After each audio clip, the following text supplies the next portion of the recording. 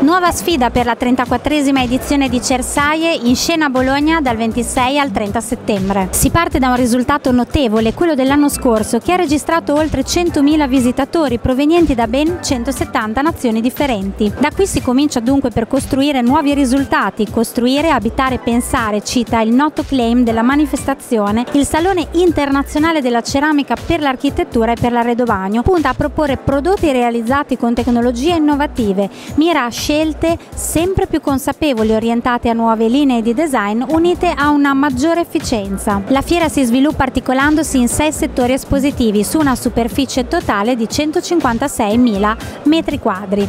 Le aziende aderenti sono 852 e molte provengono da 43 nazioni, dato in crescita rispetto al passato. In dettaglio sono 335 le aziende espositrici che arrivano dall'estero, principalmente da Argentina, Giappone, Regno Unito, Emirati Arabi e tutta l'Europa Europa. Cersaie mette in mostra la ceramica e l'arredo bagno. In questo appuntamento 2016 le aziende che rappresentano il comparto della ceramica sono 491, di queste 237 sono estere. Sono numeri importanti che raccontano un settore dell'edilizia sempre in prima linea. In questi giorni a Bologna si riuniscono i professionisti del mondo edile, architetti, interior designer, imprenditori, addetti ai lavori e visitatori curiosi di scoprire quali sono le nuove tendenze per il bagno, per l'arredamento, quali le innovative soluzioni che promuovono il risparmio energetico e dell'acqua. Cersai è una vetrina mondiale che quest'anno ha riservato diverse sessioni al confronto e alle ispirazioni con grandi professionisti dell'architettura. In particolare va citato il convegno del 27 settembre con Norman Foster, noto architetto inglese vincitore del premio Pritzker nel 1999, che ha proposto diversi suoi progetti realizzati. Tra gli appuntamenti rilevanti anche gli incontri con le scuole e i nuovi giovani architetti